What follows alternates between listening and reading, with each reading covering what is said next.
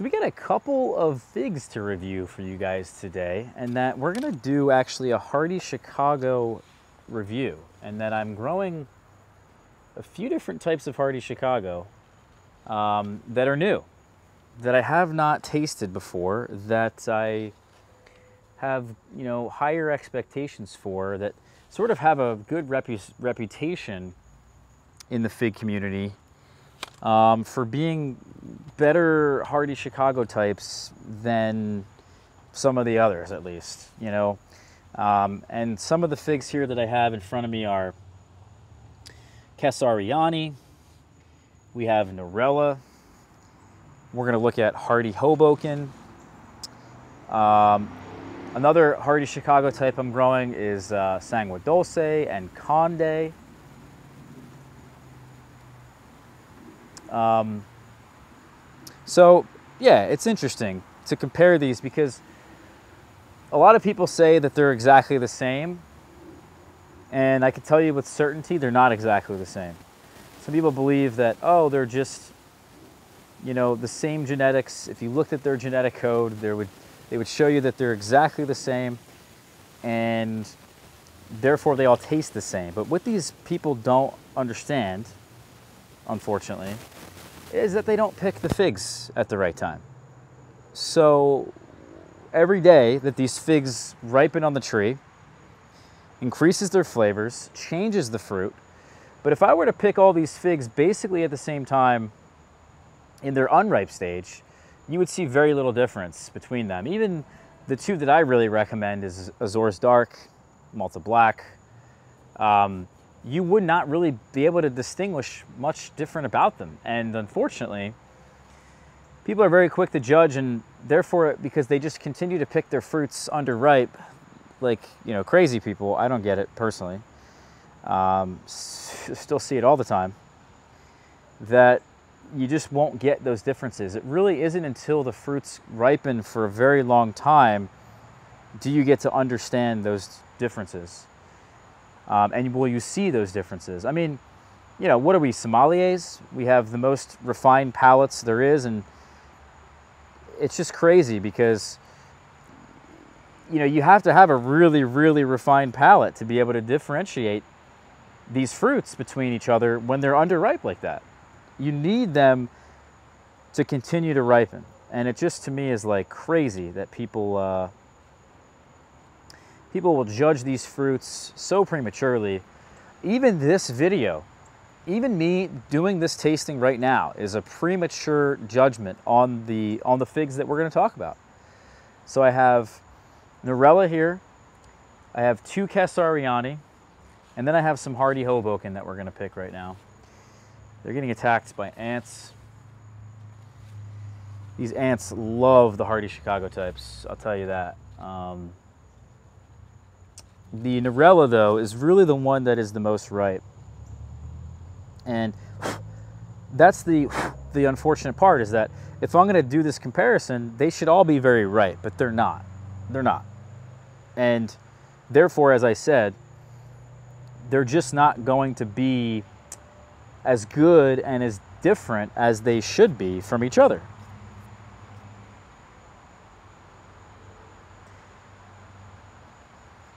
That's the unfortunate reality. So we have we have two Hardy Hoboken here on the end, two Kesariani. The Sangua Dulce has fruited and put out some pretty good fruits these, this year and put out a lot of fruits actually, as Hardy Chicago types do. It's pretty much done at this point. Um, I'll show you the tree now, but that one actually is pretty good. However, the trees are still young. And these hardy Chicago types take a long time to really show their true colors. They will take probably, let me just pick this fruit anyway for the sake of it. It's kind of ripe. Ants are all over the damn thing. They got a lot of ants this year, guys. It's kind of crazy. Um, but this is the tree. It's pretty much done. It fruited, I think, first out of all of them. All the hardy Chicago types I have. Is that going to be a thing that happens all the time? No. Is it the earliest Hardy Chicago type I have? No. Don't ask me. Don't even think about it. It's just how it is. We don't know. We haven't had these trees long enough. These trees are like two years old from cutting. The best hardy Chicago type actually I had this year was um, a fig called Sicilian Black, which has a reputation of not being a very tasty hardy Chicago type. In fact, I was told by Big Bill in Lancaster, a very good fig grower by the way. I highly recommend if you don't know who Big Bill is, you go check out his website, Off the Beaten Path Nursery. I think that's the the uh, the website, but you can find him on Facebook. Anyway, Bill has told me that Sicilian Black is just not a great tasting fig um, compared to some other hardy Chicago types he has. And that he thinks it's a good workhorse. It's very hardy. It produces a lot and it produces early. And that's why he keeps it and that's why he likes it. So I got a tree eventually at some point. I think uh, a friend of mine, Craig, had given me a tree from Bill. And then I planted it in the ground out here in the front because it's supposed to be hardy. So I figure I'll, that's where my hardiness experiment is, but the soil is very dry over there so dry that it's insane uh, how good that fig tasted. That it reminded me a lot of a fig that was grown in California. It had that quality that just was mind-blowingly good. Even the uh, Teramo, which is another Big Bill favorite, also very hardy, which typically I'm not a very big fan of the flavor. Although it is a good fig, it's not bad by any means. Um, that was so mind-blowingly good because it's planted over there in that dry soil. So even though the trees are young, the soil is perfect. The moisture has been perfect, and therefore it's been able to produce really, really high quality fruit. So this is what we got here. And you know, even though Sicilian Black doesn't have that reputation, it did, it did. It produced a really high quality fruit for the reasons mentioned. So here we have again, this is uh, Narella. We have two Kesarianis, and this one here doesn't even look like it's properly ripened some kind of problem with it. We have the Sangua Dulce on the end, and then these are the Hardy Hoboken. The Hardy Hoboken is, um, by the way, all of these have a reputation to be a tastier Mount Etna or a tastier Hardy Chicago type, right? There's others like Red Lebanese Bekaa and um, Black Greek from Marius, and um, you know, there's quite a few of them and some of them just don't catch on. Other people just kind of forget about them. And uh, it's awesome that people have been kind of growing a lot of Malta Black, maybe even a lot of Marseille Black from VS. Um, even the Azores Dark or São Miguel Roxo. Um, you know, but it's it's always kind of like, uh, is it worth growing all of them? Is it worth growing both of them? And I've come to the conclusion myself after years of growing them that I think Malta Black and Azores Dark are so good yet taste different enough that to me, I think it's worth growing both of them. Is it worth growing two of these varieties? I don't know because we're going to taste them right now. And I would say so far, they probably taste, and they are really so far this year, they've all tasted relatively the same. Um, but that said, I haven't really had any ones that were perfect. This Narella is perfect. So I'll know based on this one fruit if this is different than the rest or in any way better tasting than the rest. Here is um, Sangua Dulce. It's quite good. Actually impressive. Some people have described this fruit as having a blueberry flavor, and I agree. It does. It has an acidic berry flavor to it.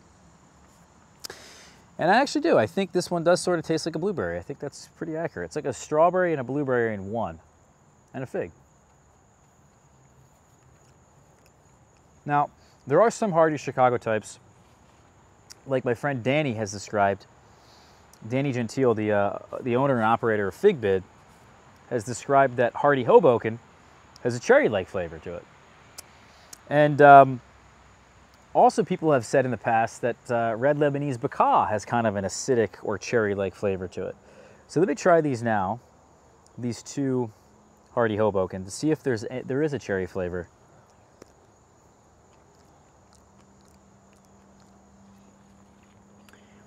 Yeah, also acidic. Sweeter, though, than the Sangua Dulce, but not that blueberry flavor. So far,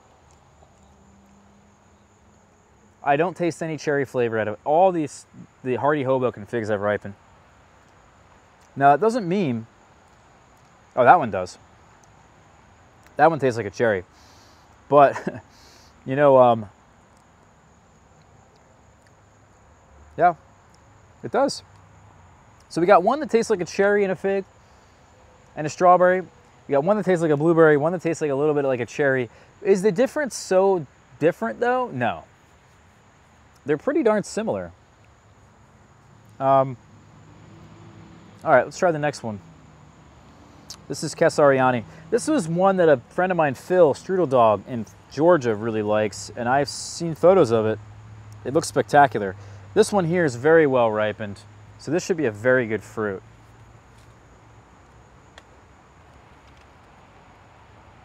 You know, it's so weird so far because I would say Malta Black tastes like a raspberry. The Hardy Hoboken tastes like a cherry. And then the Sangue Dulce tastes like a blueberry. I mean, that's kind of crazy, is it not? All right, let's try this. The mosquitoes are getting at me.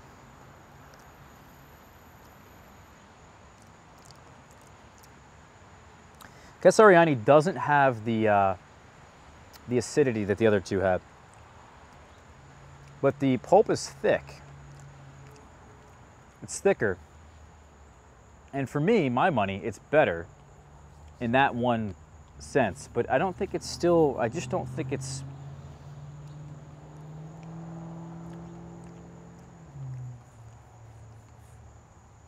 I don't think it's better than Malta Black or Azores Dark.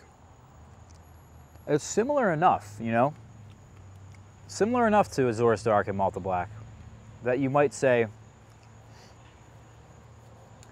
why grow them all? So I would, I would suggest so far, Kesariani is the bottom of the barrel for me. Now, will that change next year? Probably. All right, let's try Narella. Now, Narella has got a pretty good reputation. There's another one actually, St. Rita, that has a pretty good reputation. But Narella, um, I had kind of really thought for a while that Norella was the same thing as Azores Dark. And I wanted to grow them side by side to really find out.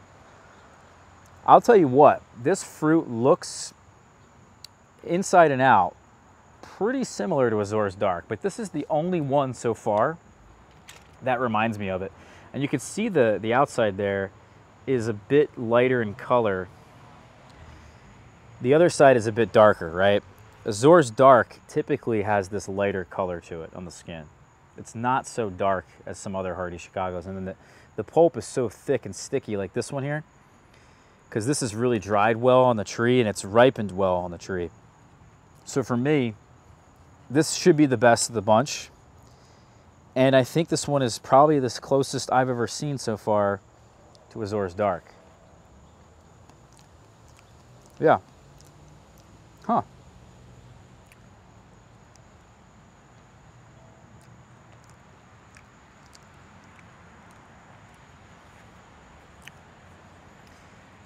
It's a shame I don't have one side by side to really compare, but I would say that's very similar to Azores Dark. But I still have had better Azores Dark figs than that. So, I don't know. It's very good.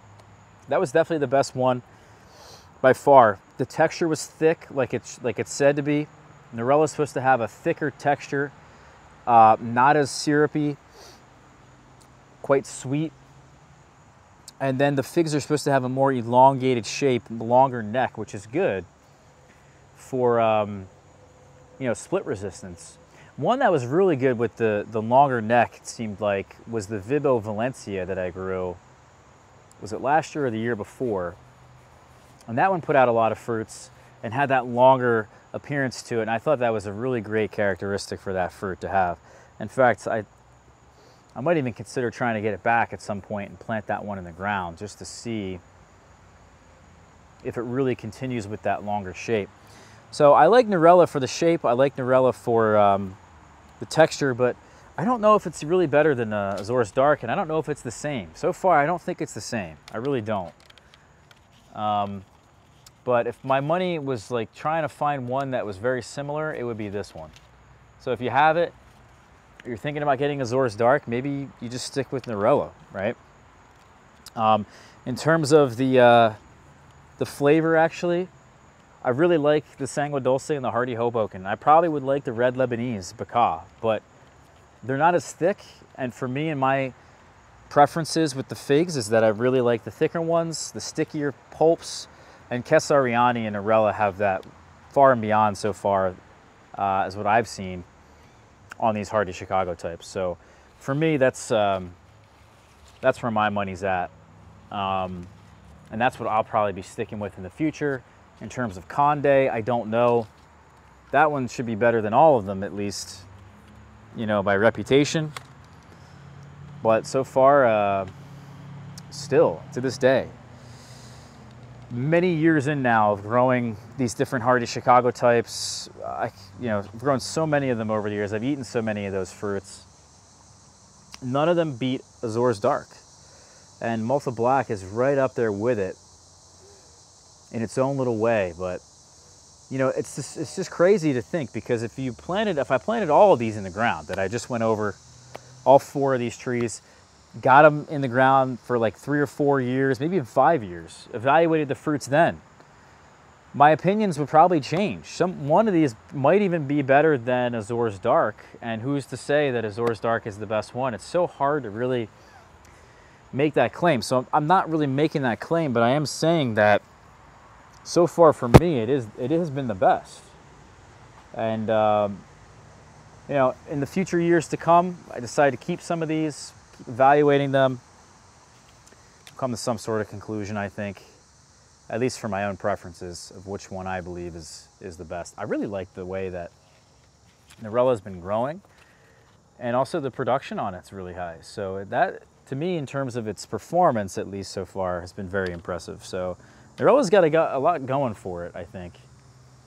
But hey guys, we'll see you soon, all right? Thanks for watching this one. Um, hit that subscribe button. You got this far, you might as well. And then also check out our blog, figboss.com. Got so much fig-related information there. We'll see you guys for the next video. Take care.